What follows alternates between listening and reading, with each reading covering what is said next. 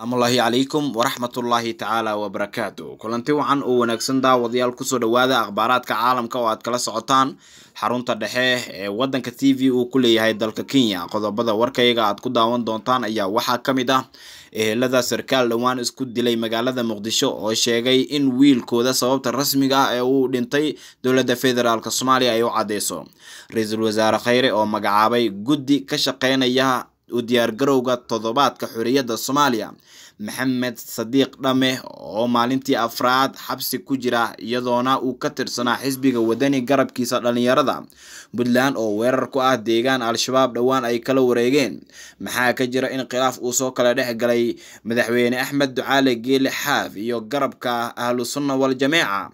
u k oo saldhig ciidan oo aada u weyn ka samaysatay soomaaliya iyo trump oo sii kordhiyey amarada dhinaca ganacsiga ah ee uu dalkiisa ku soo rogayo. Warkii oo fidsan haddii aad nagu cusub tahay daawade si aad u hesho akhbaaraadkii ugu dambeeyey ee soomaaliya. Caalamka fadlan sabscribe saar oo la sii wadaag asxaabtaada wararka kala duwan ee xiisaha leh ee ugu dambeeyey ee caalamka quseeya oo aan si joogta ah kuugu soo gudbino warkii oo fidsan. Ehelada cabdi cali seed ayaa waxa ay shaaciyeen in wiilkooda uusan isdilin islamarkaana la dilay iyagoo dowladda federaalk soomaaliya ka codsaday in arrintaasi jawaab cad ay ka bixiso. Ehelada marxuum gaashaanle dhexe cabdi cali seed oo ku dhex geeriyooday xerada taliska ciidanka daraawiishta ee sheelar jimcihii la soo dhaafay kaas oo geeridiisa siyaabo kala duwan looga hadlay ayaa waxa ay sheegeen in sarkaalkaasi la shirqoolay islamarkaana isna uusan isdilin waxa ay sheegeen inay dileen taliyayaal ay magacyadooda shaaciyeen kuwaas oo markii ay ugu wardambeysay iyaga ay u yeereen balse wixii markaasi ka dambeeyey warkiisa aan la maqlin. Sidoo kale waxaay tilmaameen in sarkaalka geeriyooday uu horey u sheegay in ay dili rabaan taliyaha ciidanka daraawiishta iyo kan xerada daraawiishta ee meydkiisa laga dhex arkay. Waxaay sheegeen in baaritaan dhab ah aanan lagu sameynin falkaasi maadaama ay tilmaameen inaan la xirin askartii hoggaanka ku qorneed xilligii la daldalayay sarkaalkaasi. Madaxda dowladda soomaaliya gaar ahaan kuwa booliiska ayaa dhowaan waxaay sheegeen in baaritaano ay wadaan islamarkaana ay soo bandhigi doonaan shakhsiyaadka si rasmi ah uga dambeeya falkaasi. Inkastoo ilaa iminka wax war ah aysan ka soo saarin. Ra'iisul wasaaraha jamhuuriyadda federaalk soomaaliya xasan cali kheyre waxa uu magacaabay guddi ka shaqeeya qabanqaabada xuska toddobaadka xorriyadda soomaaliya oo ku beegan dabayaaqada bishan aynu ku guda jirno. Ra'iisul wasaare xasan cali kheyre ayaa waxa uu maanta magacaabay guddiga qabanqaabada xuska sanad guurada konton iyo sagaalaad ee maalmaha xorriyadda soomaaliya oo lix iyo labaatanka juun iyo kowda luuliyo ah. Xubnaha guddiga ayaa waxa ay kale yihiin maxamed cabdi xayir maareeye wasiirka warfaafinta guddoomiye cabdiraxmaan ducaale beele wasiirka maaliyadda xubin xasan cali maxamed wasiirka gaashaandhigga xubin maxamed abuukar islow wasiirka amniga gudaha xubin khadiijo maxamed deeriye wasiirka dhalinyarada iyo ciyaaraha xubin deeqa yaasiin xaaji yuusuf sadiiq xirsi warfaa xubin cabdiraxmaan cumar cismaan guddoomiyaha gobolka banaadir xubin bashiir axmed cismaan agaasimaha golaha wasiirada iyo xildhibaan ka tirsan baarlamaanka xubin. Xilka guddiga guddiga ayay shaqadoodu tahay inay qabanqaabiyaan xuska maalmaha xorriyadda lix iyo labaatanka juun iyo kowda luulyo in ay si siman u xiriiriyaan hay'adaha shaqada ku leh maalmaha xorriyadda iyo midnimada inay jaangooyaan kharashaadka ku baxaya xuska inay magacaabaan guddi hoosaadyada farsamo ee xuska iyo inay kormeeraan hanaanka ay u socdaan howlaha guddi hoosaadka farsamo ee abaabulka munaasabada qaran ayaa lagu yeeray warqada ka soo baxday xafiiska ra'iisul wasaaraha dowladda federaalk ah ee soomaaliya. Ciidamada ammaanka puntland ayaa waxa ay ku sii jeedaan deegaan dhowaan al-shabaab ay kala wareegeen. Wararka naga soo gaaraya gobolka bari ayaa waxa ay ku waramayaan in ciidamada puntland ay weerar ku yihiin deegaanka af urur ee gobolkaas oo saacadihii la soo dhaafay gacanta ugu jiray ururka al-shabaab ciidamada puntland ayaa haatan isku urursanaya degmada carmo waxaana la sheegay inay dib ugu laabanayaan deegaankaasi oo shalay ay baneeyeen. Sidoo kale wararka ayaa intaasi ku daraya in dhankooda al-shabaab ay bilaabeen dhaqdhaqaaqyo ay doonayaan inay kaga hortagaan dagaal uga yimaada ciidamada ammaanka puntland. Xaaladda ayaa kacsan waxaana dadka deegaanku ay cabsi ka muujinayaan in mar kale dagaal uu ka dhaco halkaasi af urur oo ah deegaan istaraatiiji ah ayaa ku yaalla buuraha gulis waxaana in ka badan toddobaatan kilomitir uu u jiraa magaalada boosaaso ee xarunta ganacsiga puntland. Kooxda al-shabaab ayaa marar badan weeraro kala duwan oo uu dhiig badan ku daatay waxa ay ka fuliyeen halkaasi. Maxamed sadiiq dhame oo ka mid ahaa garabka dhalinyarada ee xisbiga wadani ayaa maalintii afraad waxa uu ku jiraa xabsi ku yaalla hargeysa. Mas'uuliyiin ka tirsan xisbiga mucaaradka ah ee wadani ayaa maanta xabsiga weyn ee magaalada hargeysa ku booqday guddoomiyihii dhalinyarada ee wadani maxamed sadiiq dhame iyo wariye cabdimaalik muuse coldoon oo ku jira xabsi ku yaalla magaalada hargeysa. Mas'uuliyiintan oo kale ahaa xogayaha guud ee xisbiga qatar xuseen cabdi xogayaha garabka dhalinyarada aftax jaambiir iyo xogayaha duulista. Nuurudiin diini ayaa dhammaantood waxa ay xariga dhame iyo coldoon ku tilmaameen mid sharci darro ah xogayaha guud ee xisbiga wadani qatar xuseen oo warbaahinta la hadlay ayaa waxa uu sheegay inay nasiib xumo tahay in somalilan uu xariga ka noqday wax fudud wuxuuna yiri waxa ayaan daro ah in maxamed sadiiq dhame oo ah guddoomiyihii dhalinyarada ee xisbiga wadani uu xiran yahay arrin siyaasi ahna uu u xiran yahay muddo gaaraysa afartan maalmood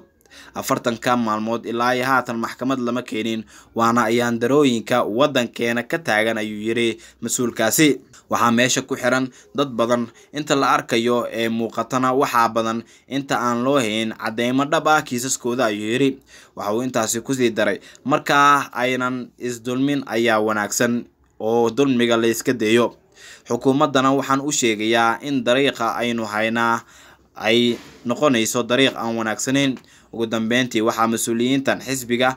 ay sheegeen inay habboon tahay in coldoon iyo dhamme la sii daayo islamarkaana kiisaska lagu hayo ay yihiin kuwo si rasmi ah aan loo ogeyn waxyaabaha ay gacanta kula jireen ee loo soo xiray. Muddooyinkii ugu dambeeyey gaar ahaan saacadihii ugu dambeeyey waxaa baraha bulshada iyo warbaahinta gudaha dalka soomaaliya ay tabinayeen in khilaaf xoogan uu soo kala dhex galay hogaanka ahlu sunna wal-jameeca iyo weliba madaxweyne axmed ducaale geelaxaaf waxaana la sheegay in khilaafkaasi salka uu ku hayo arrimaha doorashooyinka maamulka galmudug. Maamulka galmudug ayaa war ka soo saaray warar dhowaanahanba la isla dhex marayay kuwaas oo sheegayay in khilaaf uu soo kala dhex galay hogaanka ugu sareeya ahlu sunna wal-jameeca iyo madaxweynaha galmudug axmed ducaale geelaxaaf qoraal lagu daabacay barta facebooka ee madaxweyne xaaf ayaa lagu yiri waxba kama jiraan wararka lagu baahiyey baraha bulshada ee la xiriira kala aragtiduwanaan u dhexaysa madaxda galmudug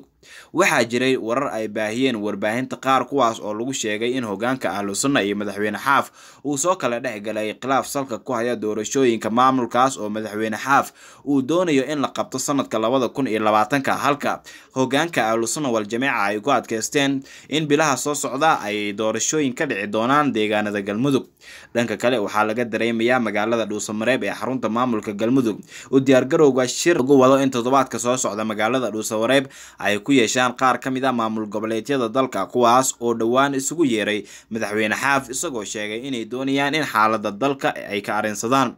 kulanka looga arrinsanayo qabanqaabadaas ayaa waxa ay ka socotaa magaalada dhuusamareeb iyadoona galmudug ay kaalin xoogan ku leedahay qabsoomidda kulankaasi. Waxaa jira warar sheegaya in madaxweyne xaaf uu isniinta u ambibixi doono magaalada nairobi ee dalka kenya halkaas oo kulan hordhaca ay kula yeelanayaan qaar ka mid ah madaxda dowlad goboleedyada dalka. Kadibna kulankooda caadiga ah ay ku yeelan doonaan gudaha dalka gaar ahaan dhuusamareeb inkastoo aysan caddeen waxa ka jira arrintaasi haddana galmudug waxa ay beeniyeen in haba yaraatee ay doonayaan in ay wadahadal toos ah la galaan dowladda federaalka ah ee soomaaliya. Dowladda u k saldhig ciidan oo aada u weyn ayay ka samaystay soomaaliya iyadoona faahfaahino kala duwan ay ka soo baxayaan.